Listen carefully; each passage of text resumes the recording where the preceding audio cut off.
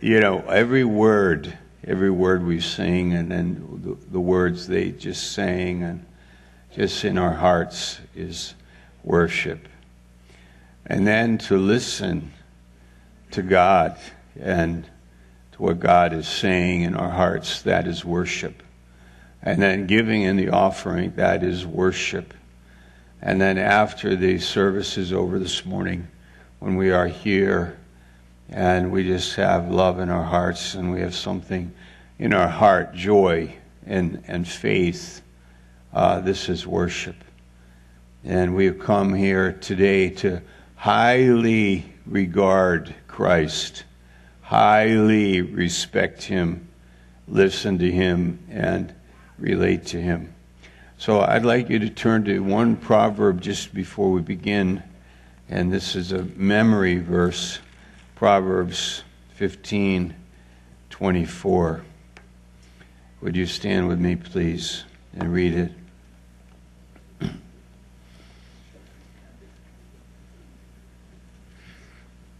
So this is the uh, verse we're going to use in the message. Ready? Proverbs 15, 24. One, two, three. The way of life is above to the wise, that he may depart from hell beneath. Another time. The way of life is above to the wise, that he may depart from hell beneath. One more time. The way of life is above to the wise, that he may depart from hell beneath. Here's a diagram.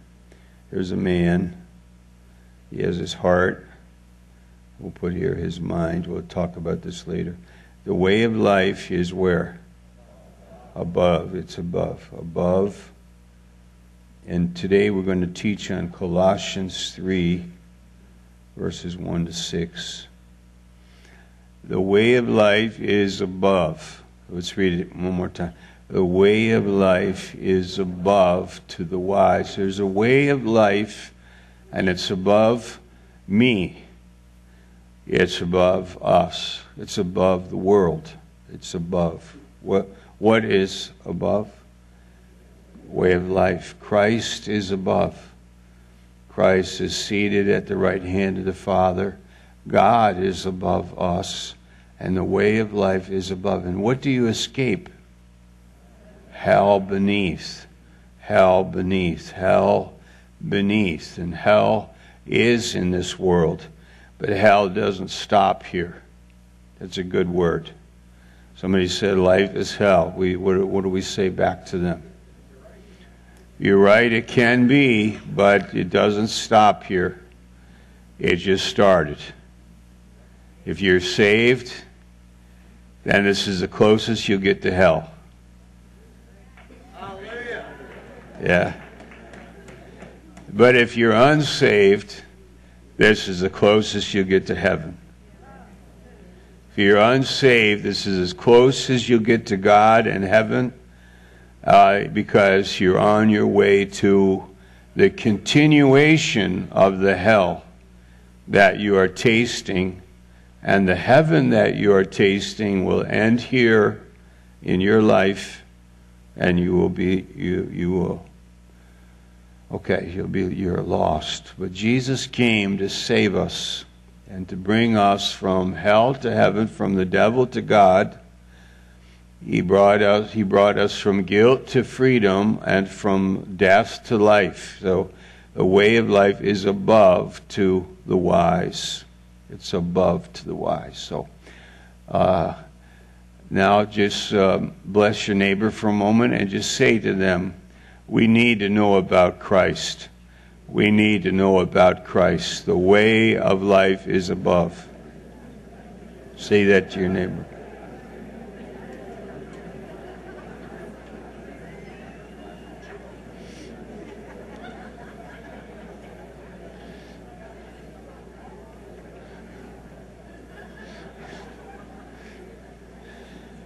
Okay.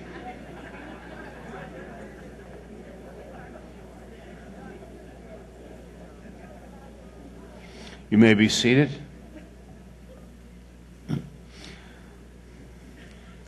We're going to teach on Colossians 3, but there are also two proverbs that I want you to know and be familiar with.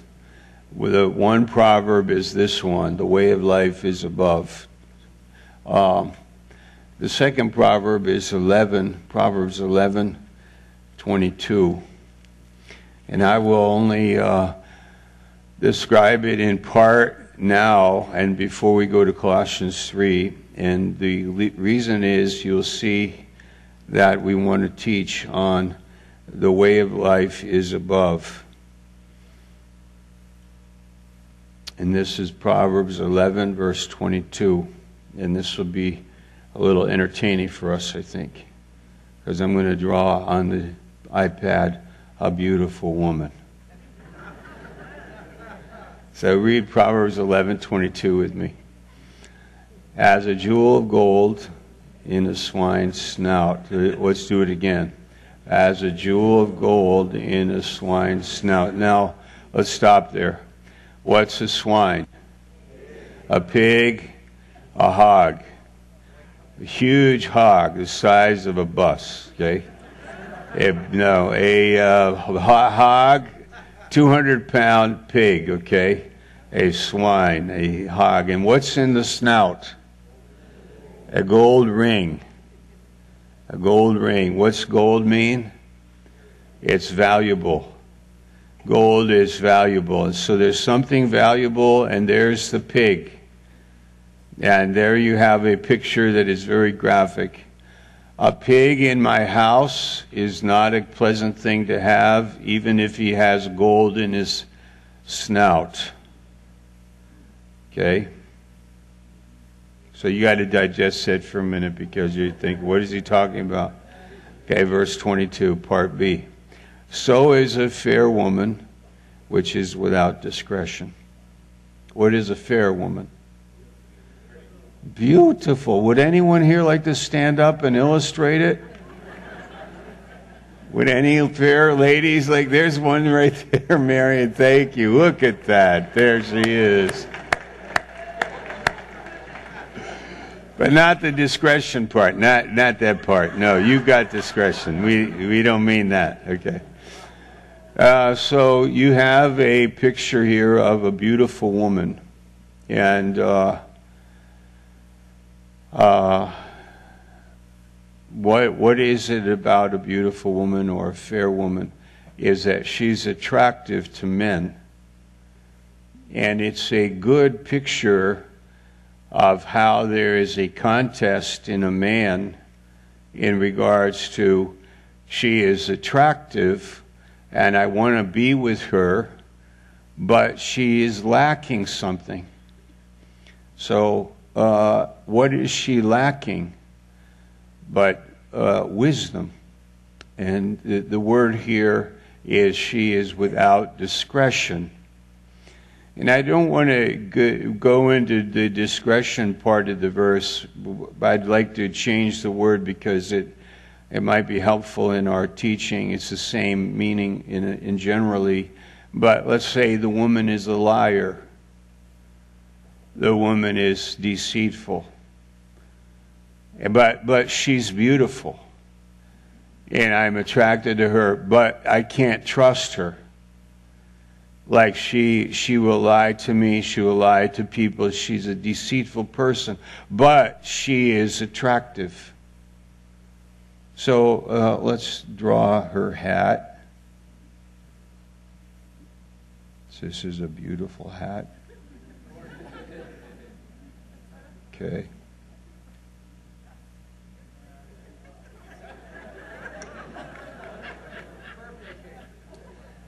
And her earrings. Smi- nice smile. beautiful dress.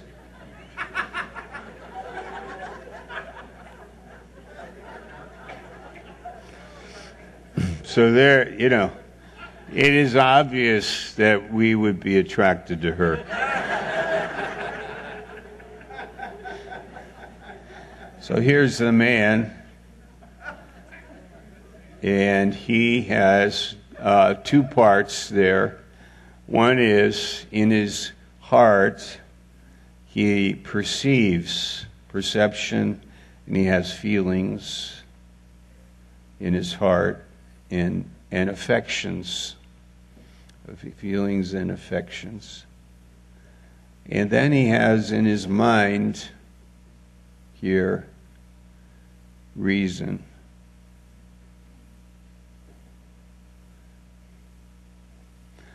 And as he gets to know the woman, he go he says something like along these lines, this woman is awesome, but unfortunately I can't totally trust her.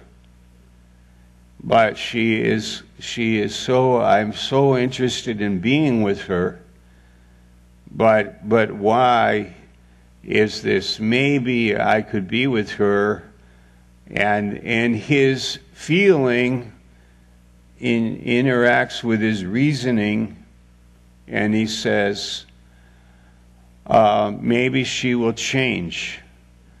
Maybe I can trust her. I just had a great time with her. I spent an hour and a half with her at the cafe. We get along real well. She's funny. We talk. And she's very attractive to me. And so, but on the other hand, my reasoning is I can't trust her. I don't know what it is about her, but why is that? That is too bad. But maybe I can run the risk and have a re- relationship with her and it will work out okay. This is a a, a kind of profile for our psychology because this repeats itself in many areas. I think um, gambling is a good example. Gambling is a habit that people have, and um, you know I can't put the word all the word the whole word up there without misspelling it. So anyway, and I say uh, I, I enjoy running the risk, putting my money down on the table. But my reason says I'm going to lose. But my heart says I enjoy it. I want to do it. But my reasoning says, but I need to pay the bills. I need to pay my mortgage. I need to feed my children. I need to take care of my wife. But in my heart, I say something else. Another thing is um, love affairs that people have. And a man is attracted to a woman, and so on. And there's flirtatiousness, interaction. It's enjoyable in the heart. But my reasoning says it is dangerous. It may ruin my marriage. It may ruin my children will not respect me. I lose the trust and confidence with my grown up teenagers. Uh, I may even end up losing my job and my respect and my credibility, but I will do it anyway because I will run the risk. This is a gamble to have a fair woman, beautiful woman, without discretion is like a swine with a gold ring in its snout. What's that mean? The pig in my house stinks up my house. But after all, there is a gold ring there. After all, there is something there that I enjoy, but then how long will I enjoy it? Because the stink will eclipse the gold because the problems I have will drown out any benefits that I once had. What a study that is. That is why the way of life is above. That's our subject. Look at our diagram. What does this man need in his life here?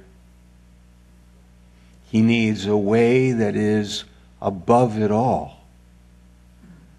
A way is above to the wise.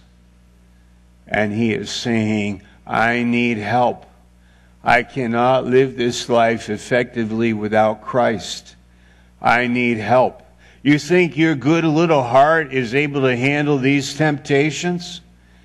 Do you think your kind personality and your good looks and your nice demeanor is going to get you through, through this life? It says the way of life is above to escape what? The hell beneath. Believe me, if you've got a pig in your house, it is something like hell. It stinks. It's filthy. It's not fun talking to it. It's not talking back. It's not enjoyable. You're on the verge of destroying your life and living in the hell below because you did not seek the things that are above. Wow. Isn't that amazing? I don't know. Did you get it? Did you got it? You got it? That's the introduction to Colossians 3. And that's an amazing way of thinking about it. I think that what we just said is so profound, we could park there for weeks and think about it. Draw, you know, make a list of the. I don't want to, I guess I'm going to have to. Do I have to draw that beautiful woman again? Oh, oh, her, her, hat, she got this hat for Christmas. Okay. The earrings are important. And then the hair, she went, the hair. She improved her. She grew. Yeah, she's beautiful. Okay. All right, what does this mean? She is beautiful, but there's something missing. She's deceitful and she's a liar. She will break your heart. She will ruin your life. She is, she, there's something attractive. Do you think that the people that are running around this planet and doing all kinds of things are doing it because they live in their reason? Do you think that reason is able to manage these temptations? Do you think that a man is able to be that reasonable and say, I cannot gamble, I will lose my I will lose. We had a man in Hungary, he had a problem with it. He'd get his paycheck, go home and gamble it before he got home. His wife would be crying, the children without food, the children without clothing. Their family was in destitution. But would reason reason give him counsel? No, the reason he had reason, he had other reasons to do it that were coming from the passion and desire of his own heart that nobody has the control over. Who has the control over their, their managing money? Why wouldn't they steal it? Who has the control over their heart regarding women? Men cannot handle their own hearts. They need the way above to escape the hell below. Uh, money, uh, women, men, relationships, forgiveness, mercy, being kind, being gentle, being patient. All of these great virtues are simply beautiful ideas. But when it comes to really bringing it into my life, it must be God that brings it into my life. It must be God that will control me and manage my life. So we have the reason in the head, but then we have a lot of feeling in our hearts. In our hearts say, I just spent time with this woman again. I tried it again. I tried it again. We just met and we had a beautiful time together. I tried it again and now I'm saying to myself, yes, I'm going to trust her, bring her into my life. I love her. I look at her. I'm motivated by what I see. It all makes sense to me. And God is heaven, God in heaven is saying to us, listen to me. The way is above God.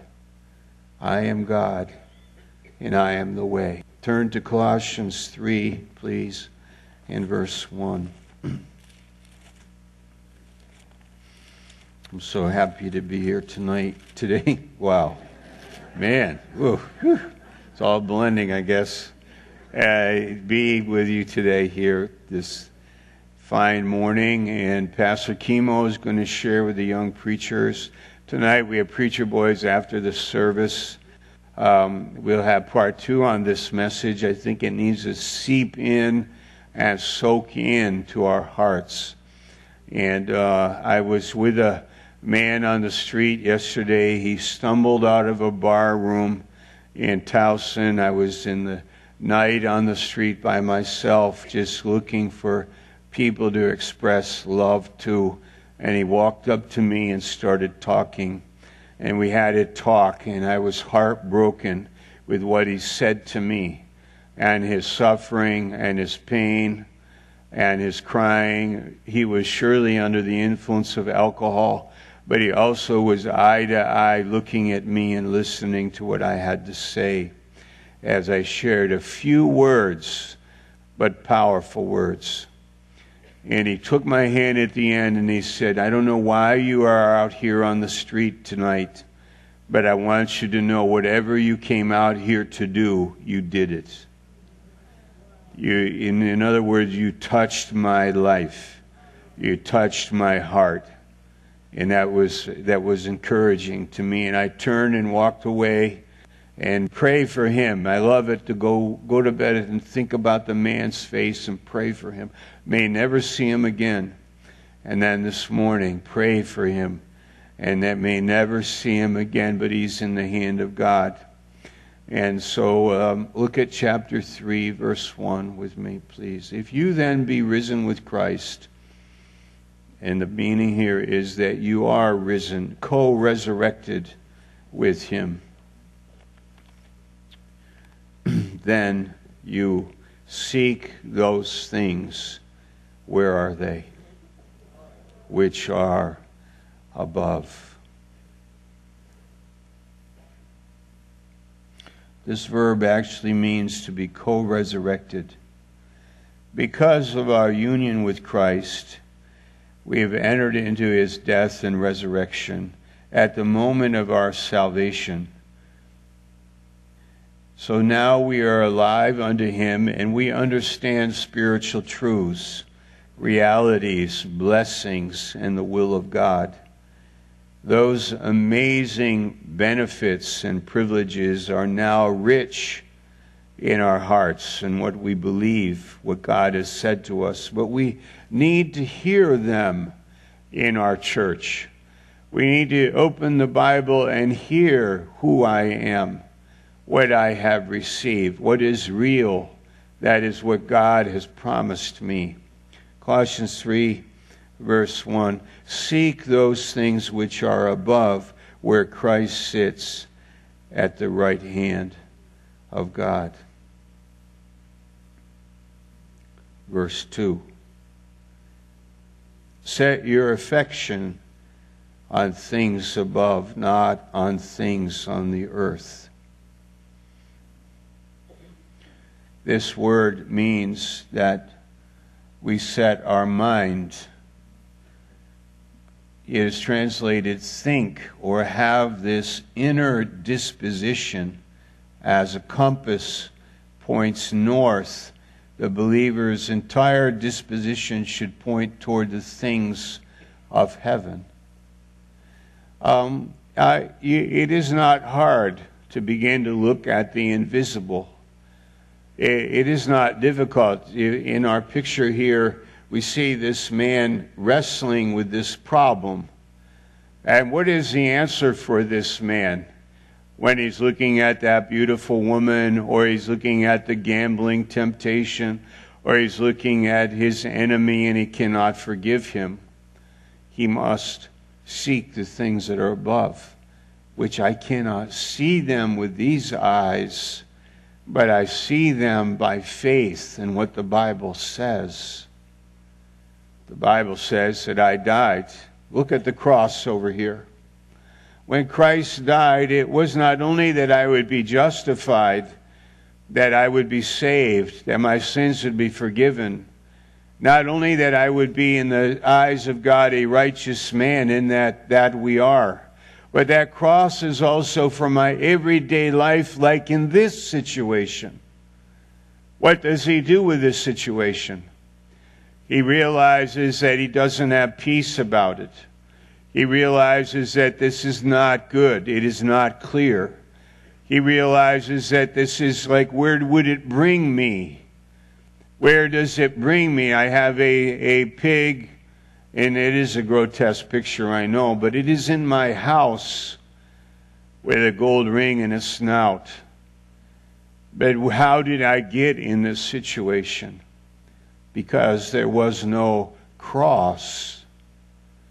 The cross says that I died, and now I'm alive and the woman is a beautiful woman, that's fine, but I don't look twice. I'm not interested. I don't feed that in my soul. Because if I feed it based on my perception, it may be that I'm feeding myself a lie. And I'm saying, I will be happy. I will have a happy marriage. I will be happy love affair. Or I will be rich. Or I will be happy with my riches. Or I'm going to be dishonest, but at the end I will be blessed with what I have. It's much better to seek the things that are above and watch God lead me in a world where I cannot trust my own heart. I must trust that God will lead me in my temptation and become invisible like a hidden man. Colossians 3, verse 3, it says, You are dead, and your life is hid with Christ in God. You are dead. Quite a statement. Dead man. Let's say my coat here is dead Let's put it on the stage. It's dirty. Sorry, forgive me. There we go. Dead coat. Hey, coat, talk to me. Can't talk. Hey, coat, wake up. Wake up, coat. Can't wake up. Hey, coat, what is your opinion on this thing? No, can't say a thing. It's dead. Do you realize what's going on around you? There's nothing. It's dead a man is dead. It, because the cross means that I died. That there's something about my sin nature that no longer has the power. It doesn't have the same power. Another thing, and I realized this last night, was this drug, this drug that is so common, heroin, which is really a killer. The man last night told me that he had 25 friends that have died from overdose. I mean, and he said, I'm the only reason I'm alive is because I, I, I'm not a drug addict, a heroin addict. I'm another kind. But I'm not a heroin addict. I'm thinking, why couldn't you handle that? Because, because it's attractive. Because men live by their hearts, not by the way above. Why can't you handle your temptation? Because you're handling it yourself. Because you think you're wise enough and you're strong enough or you're able enough and you're able to handle this life by yourself. But the way of life is what? It is above to escape the hell beneath. And here in Colossians it says that we seek the things that are above and we have this mind that is above. The reality of that cross is a mystery to the world. They know it is even less than that. They don't even care about it. They don't know about it. They have no interest in it. But as we sang today, I am weak, but then I am strong. I am poor, but I am rich. I am blind, but I see. And I found that riches at the cross, and I found the sight at the cross, and I found that I was, what was the first one? Uh, yeah, thank you. I was weak, but I am strong at the cross. The cross is the reason why you're living a blessed life. Not your personality or benefits or the connections or the friends you have or don't have. It's the cross that makes the difference. Verse 3 You are dead, and your life is hid with Christ in God. Let's take the coat. It's dead, and now it is hid with Christ in God. It's there in a hiding place. What is the point of a hiding place? It's the, the it's hidden. Like where? Where? Where? I can't see. Where are you? Where are you? What what is going on with you? Where where's the who are you? Where are you? And your life is not commonly understood by people and the world is not writing books about this reality of the cross except in the church. It is in the church where the Holy Spirit is saying to us that you are dead and your life is hid with Christ in God and you've escaped the hell below. Okay, wait a minute. Isn't there hell below for a believer too? Yes. Don't we lose our homes and foreclosures sometimes, or lose a wife or a loved one in death like everybody else? Yes. Is there hell below here too? Yes. Ask Jesus. Jesus went to the cross and died because of the hell below. But look again at Jesus. Three days later, he has overcome the world. And he is saying to us, As I was raised from the dead, so are you. He's saying to us, Though the world does not know you, I know you. Though the world doesn't care about you, I care about you. And I fill you with the Holy Spirit and satisfy you deeply. That's interesting. What about this hidden believer? Here he is. He's hidden. What does that mean, hidden? It means he can't be found, but there's another meaning. He's secure. I have a hiding place. Have you ever been in a warfare and you've been in a hiding place and the enemy can't find you? How about when you were a kid and you were playing hide and seek and your brothers and sisters couldn't find you for the life of them? You are hidden so well and you're there in a secure place, hidden and safe. Well, isn't it amazing we could be hidden in Christ in the very heart of God while we live in this world? That we are safe. It feels good to be safe. It feels good to be secure. It feels good to be cared for. It feels good to be held in the arms of God. Underneath us are His everlasting arms and to be cared for. Not only with milk and water, I think our diagram here is like the man is appeal he is drawn to the woman because his life is only milk and water. It's only a thrill for a weekend. It's only milk and water. But to us, it is meat. It is reality forever. It gets better and better. For us, it is God's reality in our life and even in our shoes when we are here in this world and there is pain and difficulty. There is a resource that comes from God. For we have been raised with Him. We are alive now unto God. Hid. The third thing about being hid look at, I died and I'm hid with Christ and God. Are, does, does the world know about this? They don't know about this secret. Why you have this strength and this joy and peace. They don't know.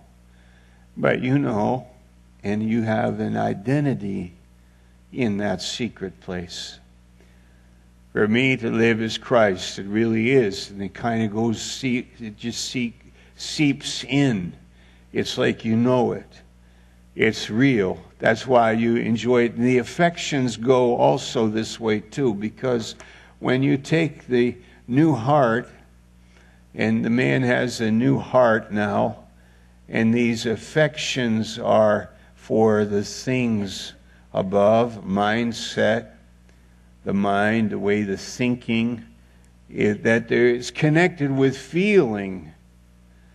Like we enjoy it. We enjoy the communion. We enjoy the peace. We enjoy the love. We enjoy the purpose of it. It's like a linkage of mind and emotion, feeling. And that we actually love Christ because we have a new heart that we love him and his purpose and his plan. Verse 4 When Christ, who is our life,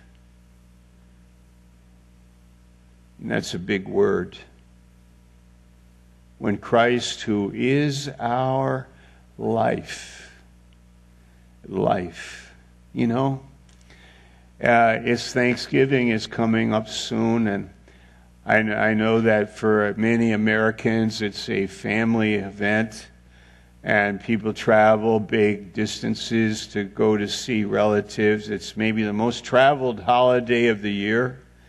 Thanksgiving to sit at a table with turkey and gravy and potatoes and be together and talk a little bit and interact and so on. And, and it's um, a whole organic event of, of family life.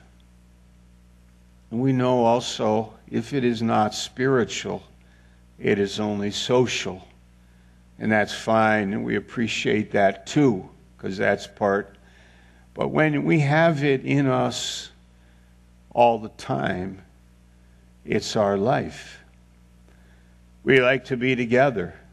That's why I want to encourage some of you when the service is over, maybe you, you have to run out to your car to go to work today or you have to run out to the car to go do some duty or do something. But I advise you that because you are hidden with Christ and you have Christ's life, that you can develop affection, relationships, connections with people. We are hungry for connection. And no one can explain how that works, except it is our life now. Because in verse 4 it says, When Christ, who is our life, this is spiritual life, we love each other.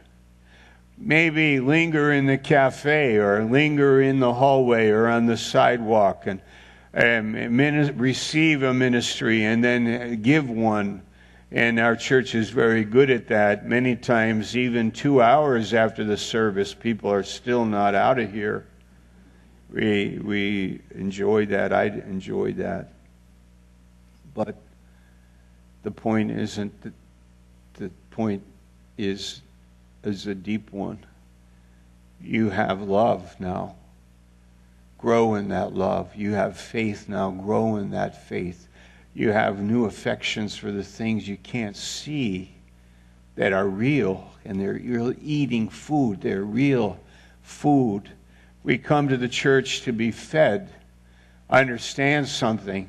It's fun to go out to the car and say, "Wow, that I get it," or "I understand it." and drive home with it kind of ruminating in your heart and in your mind because you are seeking the things that are above and that are very real, a very real part of your new life. Therefore, then, verse 5 mortify, therefore, your members which are upon the earth. This is putting to death it means a conscious effort to slay the remaining sin in our flesh. Actually, it means, in our words, we would say, I died, I am hid. Whenever sin is surfacing in my heart, and it does, I don't pay it the attention that it wants to have. I, I'm not feeding it. I'm, I'm rather living in a mind and I'm saying that has no right to my life. That is not going to control me. I know where that leads me. I see the end result. I always find it fascinating on these liquor bottles. That they usually have like gentlemen or the names of people that seem to be sensible or are honorable. Johnnie Walker, top hat and cane, an English gentleman with high boots on, walking straight with a long stride. But I don't find people that are drinking that looking like him.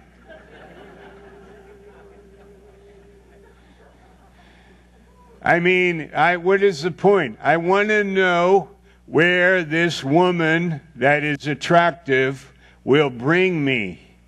Because wisdom asks that question What is the consequence of my decision? Why am I making the decision? What is in my heart?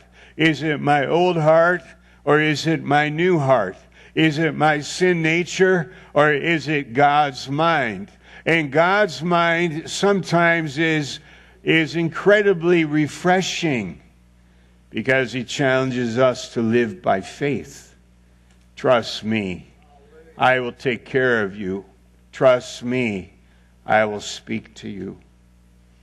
And when we are sins, look at verse 5, there's a list there.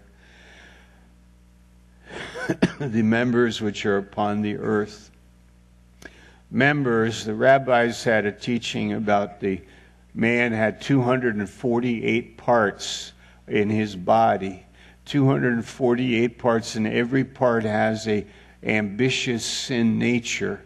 That part is for this sin, this part is for that sin, and this part is for that sin. And they taught that the law of Moses was to address every part of my sin nature. But we have learned that there is no law that can control my sin nature. There is no law that can be given to me so that I can live by the law and control this problem that I have here that we describe by uh, Nancy here, or Lucy from uh, this one. She doesn't have hair. We got to fix that. Lucy from Charlie Brown. You know, she. It, I don't have a law that can keep me away from a law that will give me the wisdom, a law that will govern my life. By the law, no man is perfect, for the law makes no man perfect, but the bringing in of a better hope did. The cross is what I have now. The cross says that I died. Look at the cross says I died and I'm hid with Christ in God. And the cross says that my sin has no authority over my life. It is like a chicken with its head cut off. Have you ever seen that happen?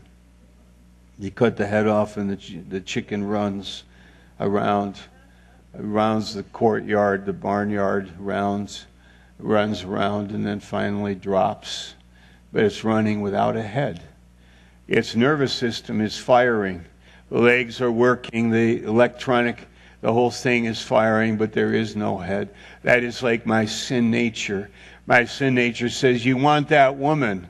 And I just wait a second and I say, God, what do you have to say? I'm relating to you. I'm enjoying you. I don't even care about what that voice is saying. And it drops over dead. It's dead. It has no power. But it's up and running. And it's running around, but it has no authority over my life because I died. And now I live. But I'm living in a hidden place. People don't even understand why you are so blessed. It is hidden. But I am blessed. We are blessed. We are free. We are living this way with God. You are a man of God, a woman of God. You're able to make these decisions and not lie to yourself. You're able to live with God. God will not lie to you, and then you do not lie to yourself. You are not lying to yourself. You're telling the truth to yourself and you're saying that woman, and it's just an illustration, of course, but it has many applications. That woman, I cannot do that. It'll break my heart. It'll ruin my life. It'll bring something foul into my life. It'll cause so much trouble of all kinds. God is keeping me from, in, from myself in my temptation. I died. The cross means I live, but I live with a different quality of life. This is verse 5. Look at it. Fornication, uncleanness, inordinate affection this sexual passion, these evil thoughts, this evil desire, all of this, covetousness is another word there. Evil concupiscence means evil desire. One has a more internal passion and the other one a more external one. All of this passion, all of this desire is subject to the cross and you say, You do not have a right over my life because I died. You do not have authority over my life. You cannot to make this decision for me. I'm living the way of life is above to escape from the hell below. Hallelujah. How many? There was a Finnish uh, company, large Nokia, before it did the telephones. They did pneumatic drills, plastics, rubber all kinds of engineering, and very famous, very powerful. Uh, beginning, and when it got into the phones, it expanded, and they they had a great uh, they had. But before the phones came, there was a CEO, and the company was was plunging, and the man, just think, a Finnish engineer, professional, manager, leader, highly qualified, and he committed suicide. Tragic story. You think your smartness is good enough? Do you think your culture, background, personality, benefits, blessings, smartness, you cannot escape the hell below? You must find something above you, beyond you. And that's why Christ came. Do you see? That cross means that I can live beyond myself. That's the testimony of the church, that we are living beyond ourselves. That's the message on the street to people. It is that we can live beyond, we actually not just can, but we are privileged to. God is insisting upon it that we would be the objects of His grace and that Christ would be seen now, still, now in this life, now in this world as it is. In this closing, it says, covetousness, which is idolatry. I think I, I just want to maybe just say something. I hope it doesn't, you know, don't misunderstand me. Like Christmas is coming, and Christmas is a great time for families. And I, I think it's beautiful to buy gifts and have a beautiful time of celebration uh, a child and Christmas is beautiful. And I think it's so awesome. But on the other hand, too, I just have to also uh, safeguard my spending in some measure. I can be very generous, but I cannot say that that the happiness of my Christmas time is directly relational to the amount of money I spend. More money spent, more happiness is there. There has to be some other kind of way of thinking about it. And spending money that is your business, not mine. I'm only trying to say a few words of encouragement for us. That in the same way that I cannot be self indulgent with my living style and do whatever comes to my heart, whatever comes to my mind, I make decisions based entirely on myself I need to seek the way that is above to escape from financial disaster below. I need to find a way to love my family and be judicious in my lifestyle. I cannot overeat because God will help me with that. And if you have that as a habit or a problem, we understand it. But I'm only saying I've got to believe my weaknesses may be different but I've got to believe the answer is the same. I died, but now I live, and I'm living in a secret place, and I have a new identity For me to live as Christ. God, Jesus, please help me in my relationships. Help me to forgive people. Help me to be a prayer warrior. Help me to be a church attendee and eat and partake of what the message is. Help me to be put on Christ Jesus. And, and let, help me to live when I am tempted and I see this situation and lie to myself. And that's what he did. He said, Oh, it's going to work out okay. All the woman, I, I'm just attracted to her. She's so pleasant to be with. But then just behind it, just behind it, gambling, oh, how great, how great it is. Oh, just behind it is a disaster. And so on, and so on, and so on. Heroin and the drugs and so on. Just a little bit behind. I mean, I'm not in vain. I'm just saying the Lord has given us a way that is above, and it affects us so that we are free and we are learning this. So that's the message today. Hallelujah.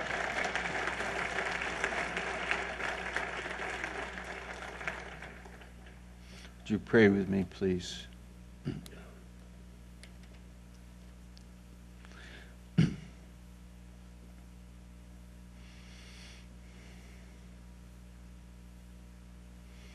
The Lord would not ask us to put it off unless He made it possible for us to put it off.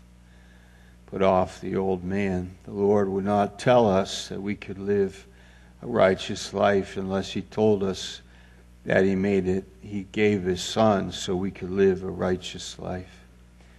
The Lord would not tell us to be wise unless He made it a way for us to be wise. He would not tell us to endure in our temptations unless there was a way of escape. And that's the way that we're learning about here. And we honor you, Lord, for that in our hearts. Ask you to bring it home to us again and again and rejoice in it. That people that leave the assembly, they, they stop hearing the message that challenges them to look and seek the things that are above. Uh, the people that leave fellowship, they are people that are not availing themselves to words of life, words of truth, words of encouragement, words of love. And they need it. We need it. It's our food. How could a man get big and strong unless he ate good, solid food?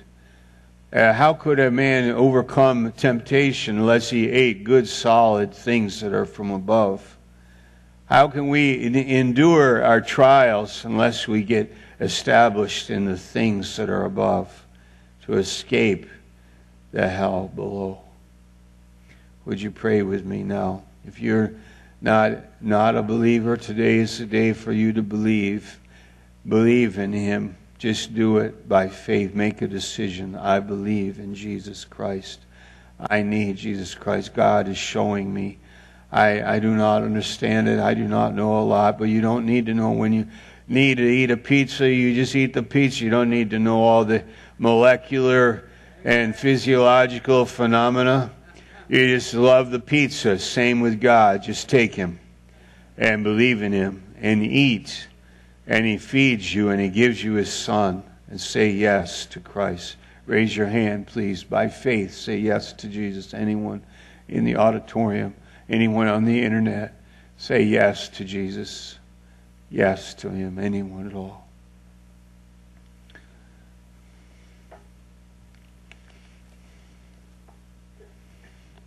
Yes, Lord, thank you for the things that are above the way, how much we need it. It is our very life. Thank you, Lord. Thank you, Lord. Tonight we'll speak about overcoming our temptations and feed us this truth and lead us in this new way in your name without discouragement, without fear, but with deep encouragement. Amen.